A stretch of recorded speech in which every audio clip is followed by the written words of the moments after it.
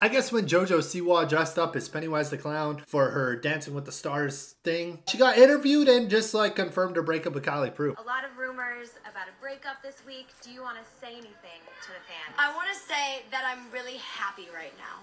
Okay. And I've been really happy for the last, I mean, since January when I came out. And I think you have a choice in life to let your happiness grow no matter what's going on in your life.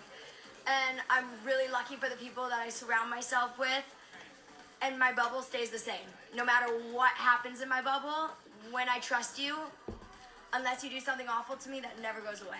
And I think that's something that I'm really thankful for. Okay, let me put this into breakup terms. Yes, me and Kylie broke up, but I am very happy I surround myself with good people so I don't get down in the dumps over this breakup. That's pretty much what JoJo Siwa said. You know, I'm happy that uh, JoJo's happy and okay with all this and stuff because breakups are hard, dude. They really are. I just hope Kylie Prew's okay and I hope them nothing but happiness. You know what I'm saying? They'll one day both find the love of each other's lives and that's what's important. Who knows? Maybe in a couple years they'll get back together. Maybe they are soulmates. I mean, in the past when me and my girlfriend were younger, we broke up. Believe it or not, I think we started dating when I was 16 and she was 15. And then we broke up for an entire year and then she randomly invited me to her birthday party. And then we got back together. And then we broke up again for like a month, back together, and dude, here we are now. You know what I'm saying? Talking about that, we have a new video up on the Seki YouTube channel, guys. Please go check it out. It's really funny. Link down below. Peace.